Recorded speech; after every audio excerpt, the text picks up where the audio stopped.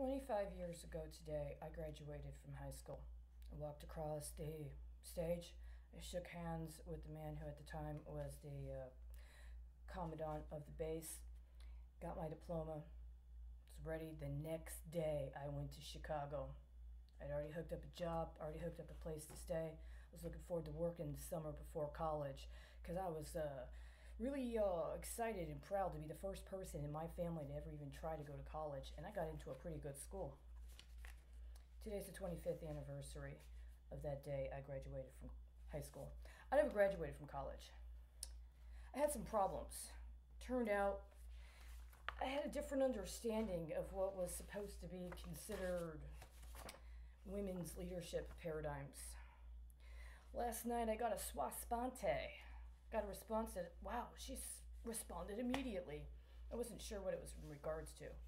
You know, without appropriately identifying what you're doing when you engage people in secret proceedings so that you can leave a sense of uh, plausible deniability for your culpability, then you always run the risk that you have escalated it above and beyond a point you are willing to be responsible for.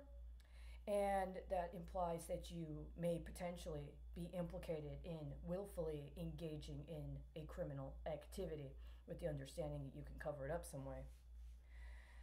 A while ago, I did something. It was my own, I guess, sua sponte. And I believe it's absolutely relevant to what's happening today. There was an announcement that I found that there had been a leak that an oil, uh, a diesel depot in the Arctic Circle in Russia had uh, uh, burst two days ago and it's been leaking into the water system for two days. But it took apparently up to two days to let the leadership of Russia that was not in the Arctic know about it. Somebody decided to sit on it. Somebody decided to wait until, I guess, uh, what, a public announcement could be made on June 3rd? No, no, no, it's not about me specifically. Or is it? Presidential documents from Federal Register, Volume 82, Number 13.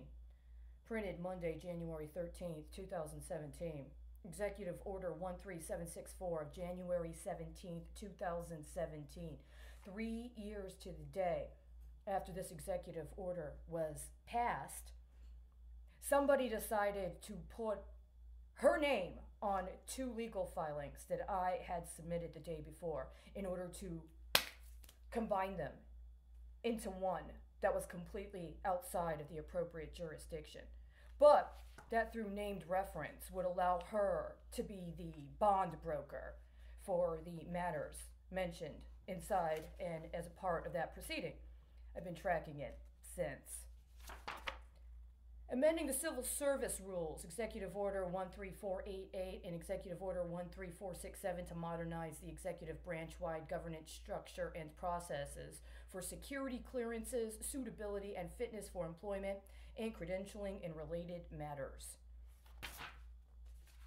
The day I printed this out, I printed out a few other things because I understood that someone had attempted to try to engage me in a process that was not legitimate. The ironic thing about this is that right here,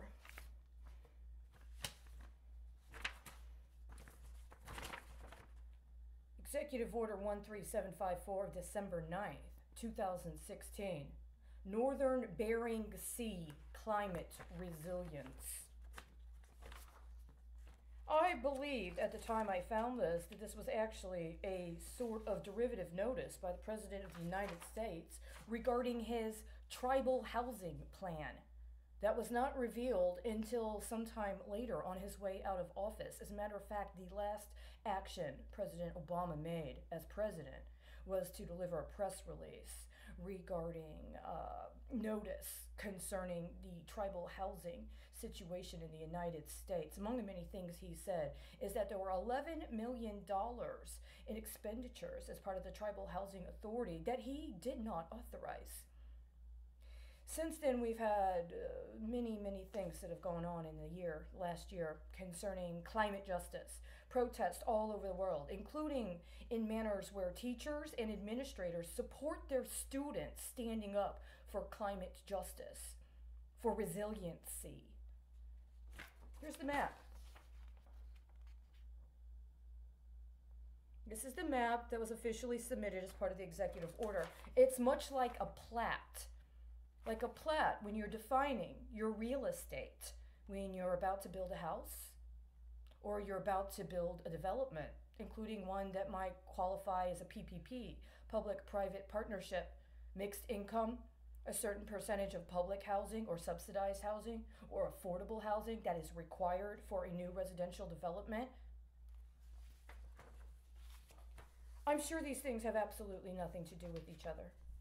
Just as I'm sure this current uh, paradigm around confining us to our houses while there's an alleged public health outbreak has nothing to do with the small business administration's administration budget and has nothing to do with diesel leaking into the Arctic Sea, right? Nothing at all.